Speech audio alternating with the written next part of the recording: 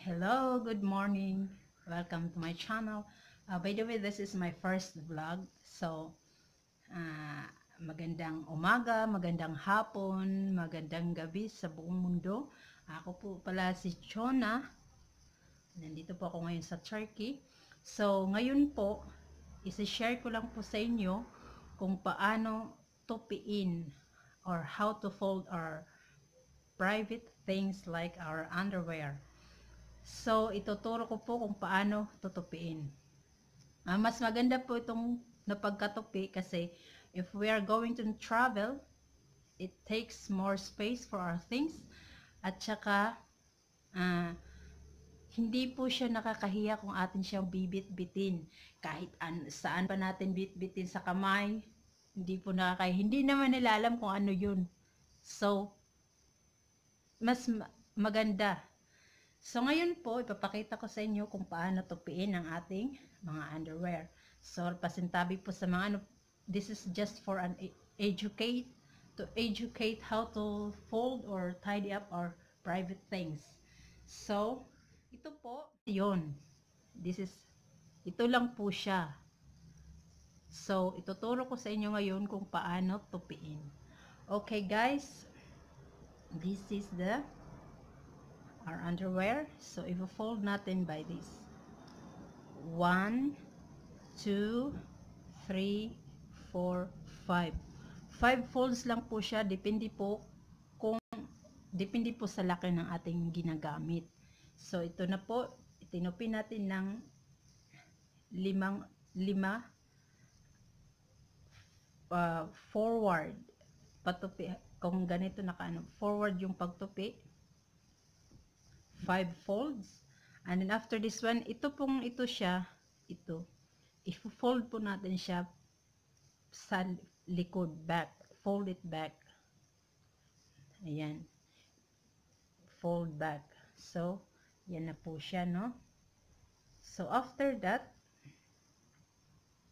ito po na nasa ibaba, nasa baba, i-fold it po natin sa likod, then, turn.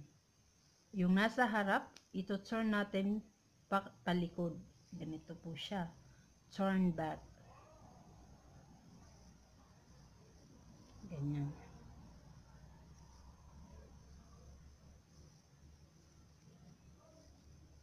Ganito na po siya yung outcome. So, another one, para para ma, matutu, matutunan po natin talaga kung paano pagtupi. So, ganito po siya. Ito. Sorry po, may nag-ano. so, yan po. Ganyan. Ifo-fold po natin yan. 5 also kasi yun yung size ng ano ng ano. So 1 2 3 4. Apat lang po to siya kasi depende po yun sa pagtupi nyo kung paano. As long as nagagawa natin ng maayos. Ganyan po siya. Fold fold it back. Ayan po siya oh. Ayan nakatup naka sa likod. Yan po yung sa, sa likod. Tapos turn it back also sa likod. Ayan po siya. Ito po yung likod, ito po yung nasa harap. So, para po madali, ayan.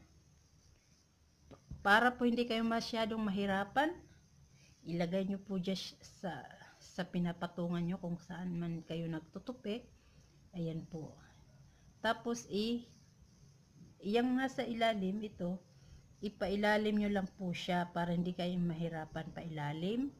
And then ito, kasi parang may, may bulsa siya, So, i-turn nyo po siya pa, papunta sa inyo paharap. Ganyan. Yan. Kasi, para sa mga beginners, alam ko mahirap yan. Pero, ayan, ituturo ko nga paano. Ayan. So, ito na po siya. Ito na po yung outcome niya. So, pag mag-travel po tayo, kahit maliit na bag, kasi kailangan natin ilagay sa bag or plastic zip bag kailangan natin ilagay so kung ilang weeks kayo na sa biyahe kahit ito pwede na ilalagay nyo lang po siya dyan so kahit transparent ang gagamitin nyo hindi nila alam kung ano yun Tatlo lang kasi yung inano ko ngayon. So, put it here. Hindi nila alam kung anong laman. Ang alam lang nila things, pero hindi nila alam gamit natin, di ba? So, this is ganito lang po siya kasimple. Salamat. Thank you for watching. Bye. Ingat.